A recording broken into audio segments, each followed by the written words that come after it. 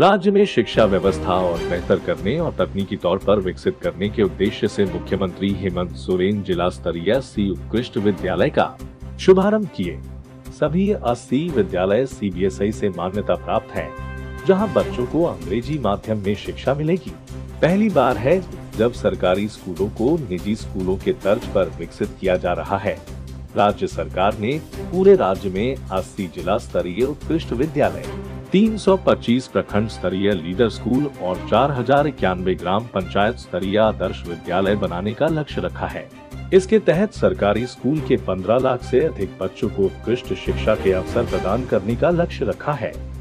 बच्चों को बेहतर शिक्षा मिले और इसको लेकर आपको याद होगा, शुरू से ही ये बातें चल रही थी कि राज्य में बेहतर शिक्षा के लिए बेहतर आधारभूत संरचना होना, शिक्षक होना, प्रिंसिपल होना आवश्यक।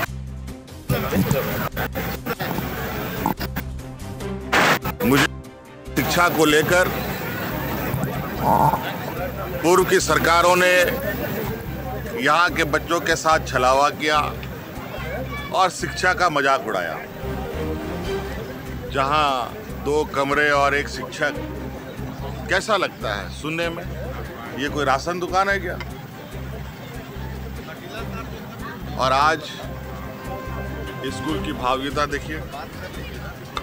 स्कूल के अंदर के व्यवस्थाएँ देखें, क्लासरूम को देखें। बस। अब इसके अंदर जो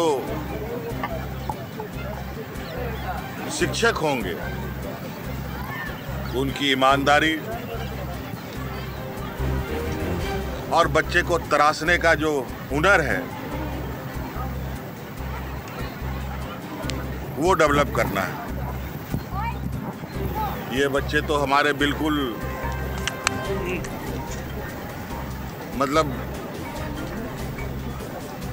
गाँव से आ रहे हैं, गरीब हैं, कमज़ोर हैं। जहाँ दो वक्त का इनको खाना नहीं मिलता। ऐसे बच्चे इनको तराशने का काम अब इन विद्यालयों में किया जाएगा अपने राज्य से जुड़ी हर ताज़ा खबरों के लिए आप हमें सब्सक्राइब करें, साथ ही बेल आइकन बटन दबाना ना भूलें।